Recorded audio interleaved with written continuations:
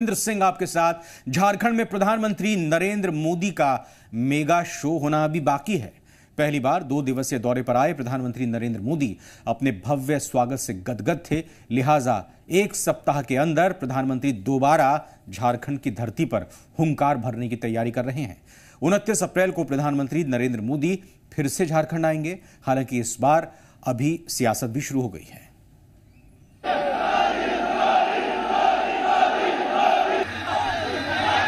प्रधानमंत्री नरेंद्र मोदी मिशन 2019 को लेकर शहर दर शहर चुनाव प्रचार करने में जुटे हैं।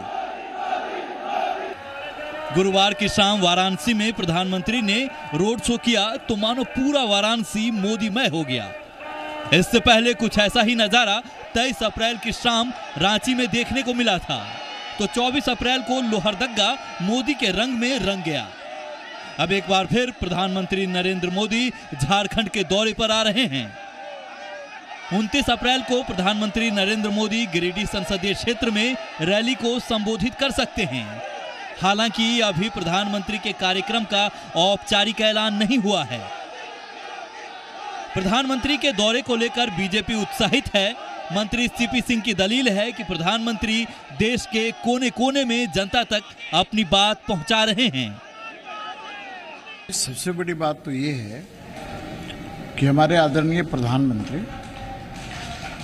प्राय कोशिश कर रहे हैं कि देश के विभिन्न कोनों में अलग अलग चरण में मतदान है, वहाँ पर जा करके और अपनी बात जनता तक पहुँचाने का काम कर रहे हैं।